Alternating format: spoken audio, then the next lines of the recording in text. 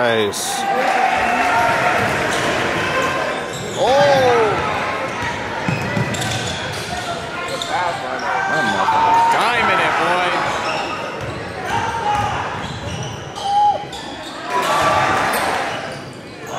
Uh-oh.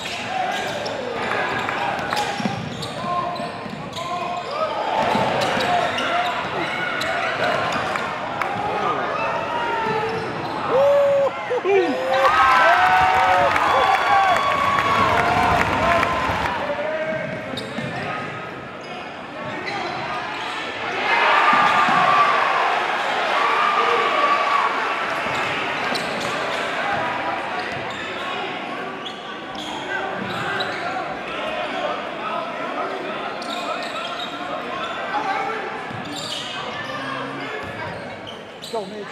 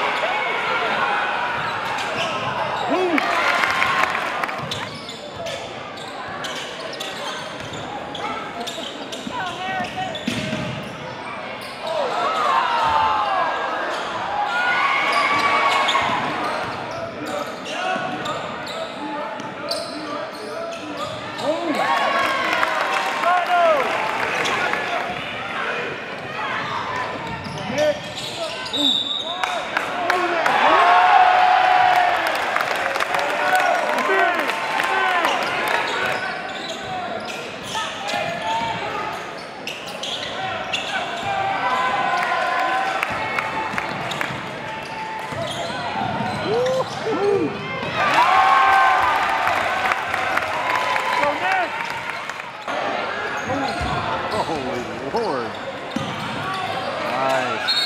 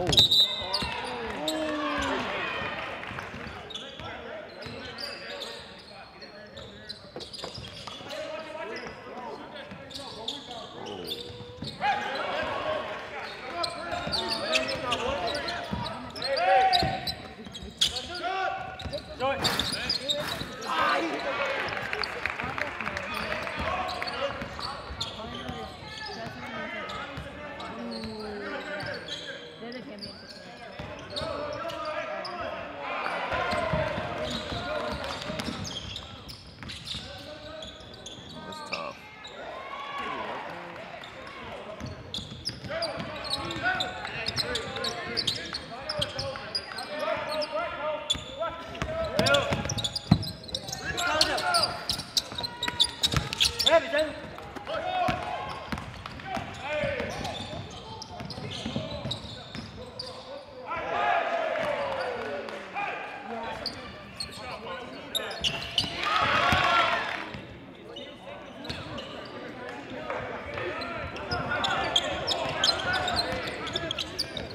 Oh, Lord.